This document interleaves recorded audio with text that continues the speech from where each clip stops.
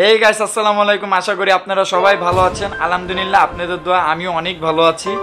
তো আপনারা অবশ্যই ভাবতেছেন যে হঠাৎ করে রানা চৌধুরী কোথা থেকে আসলো বা কী কারণে আপনারা তো সবাই মন্তব্য করতেছেন কমেন্ট করতেছেন, আমাকে জানাচ্ছেন যে, ভাই, আপনি কি ইউটিউব ছেড়ে দিচ্ছেন?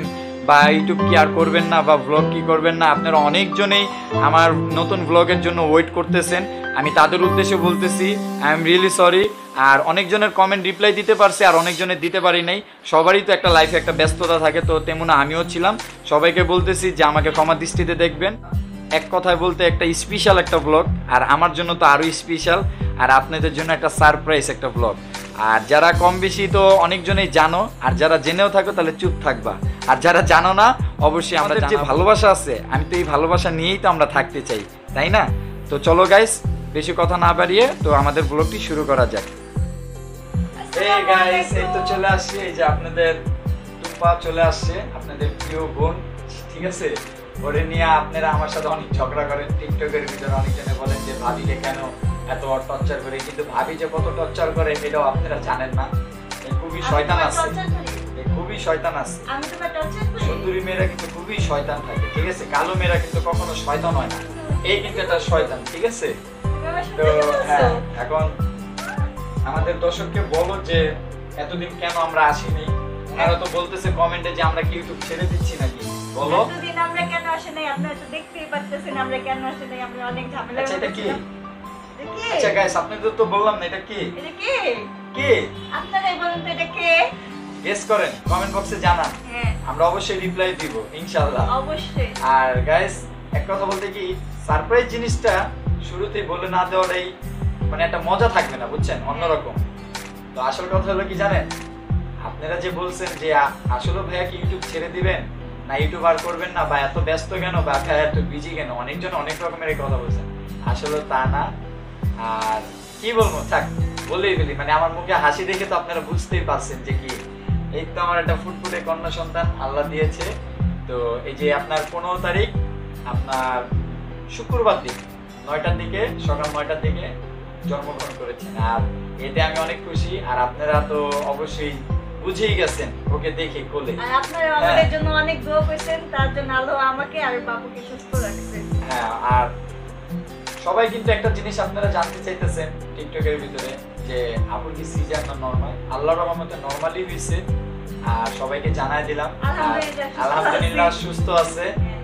মনে করেন এখনও চার পাঁচটা মানুষকে ঘুষায় ঘুষা মারতে পারব। কোনো ব্যাপার না। ঠিক আছে? এমন মনে করেন এমন তো আমার তো খামসি মামসি দেয় আর ও আরেকটা কথা গাইস আপনাদের তো বললামই না। আমার মেয়ের নাম রাখা হয়েছে রুসাইবা হাসান রুহি।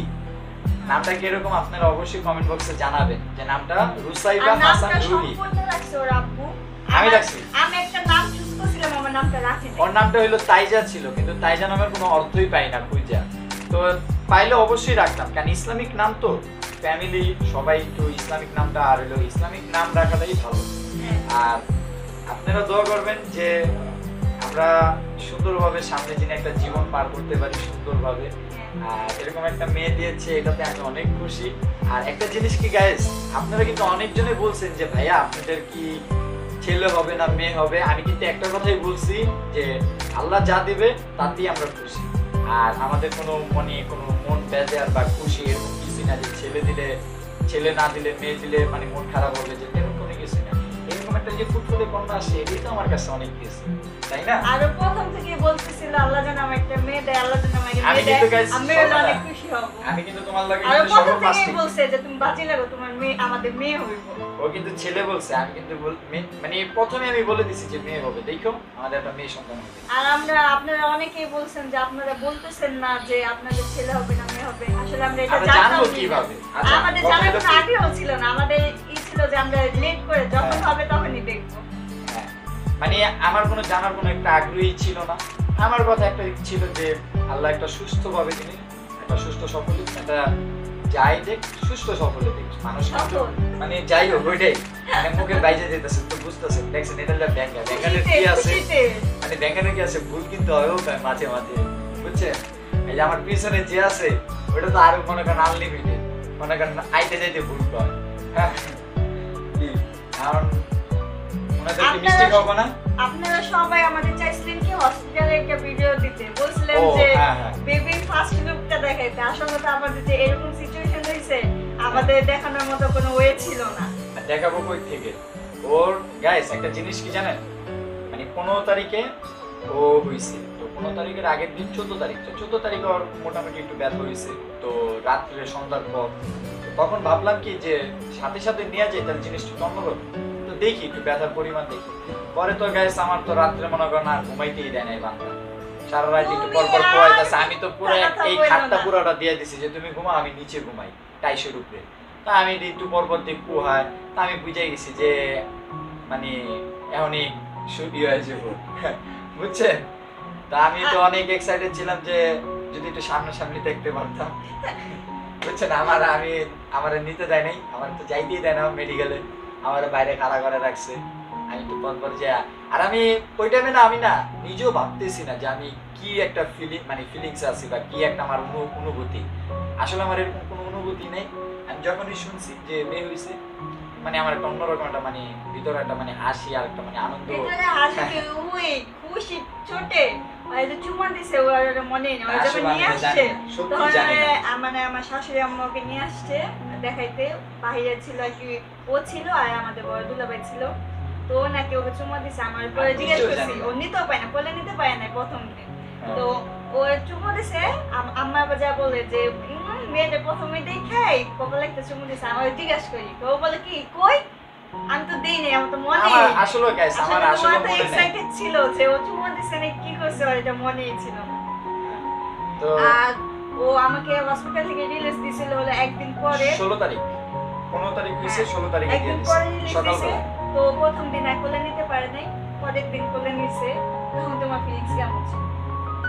তো ওই যে ওই টাইমে তো মনে করো ছবি নিয়ে ফিল হয়ে গেছি যে এটা আমার একটা আর একটা কথা কি ও হচ্ছে যখন হয়েছিল তখন একটু মার্শাল আল্লাহ দিলে একটু হেলদি ছিল আর গাইস তো আমি তো ও যখন আসছে আমি কই কি পাল্টায় পুল্টায় দিছে নাকি? যখন বাসায় আসছি তো একদিন পরে তো হসপিটালে জানি না অবস্থা কীরকম হয়?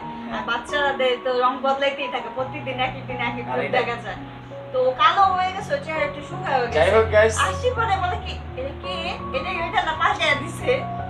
তো যাই হোক গ্যাস কালো হোক সাদা হোক যাই হোক আমারই তো। তো সবাই দোয়া করবেন ওর জন্য বেশি বেশি মার জন্য দোয়া দোয়া করবেন করবেন। আর আমাদের জন্য দোয়া করবেন আর বিশেষ করে আমার জন্য দোয়া করবেন যেন আমি ভালো কোনো কিছু করতে পারি। আর যিনি ওদেরকে ভালোভাবে আমি চলাইতে পারি, পাশাপাশি আমার বাবা মাকেও সবাই দোয়া করবেন।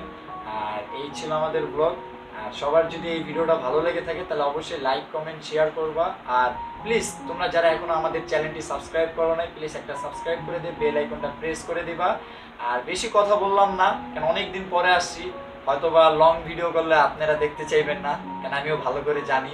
আর আমরা তো আর অন্য সব ইউটিউবারদের মতন তো আমরা মানে ওইভাবে প্রফেশনাল মতন মানে আমরা যে ভিডিও করব বা এরকম করব তো তাহলে আমরা যদি ওরকম থাকতাম তাহলে অবশ্যই আমরা কন্টিনিউ ভিডিও দেওয়ার চেষ্টা করতাম মানে কন্টিনিউ কেন আমাদের। দিতে পারতাম এই তো আর এক কথা বলতে কি আমি থাকি কাজে টুকিটাকি ও সংসারে ব্যস্ত থাকে এখন তো মনে করেন আরেকজন আসছে এখন ওরে নিয়েই দেখতে হবে এই তো সবাই তো বুঝতে পারছেন আশা করি সবাই আমাদের চ্যানেলটি সাবস্ক্রাইব করে রাখবেন বেল আইকনটা প্রেস করে দেবেন ধন্যবাদ আসসালামু আলাইকুম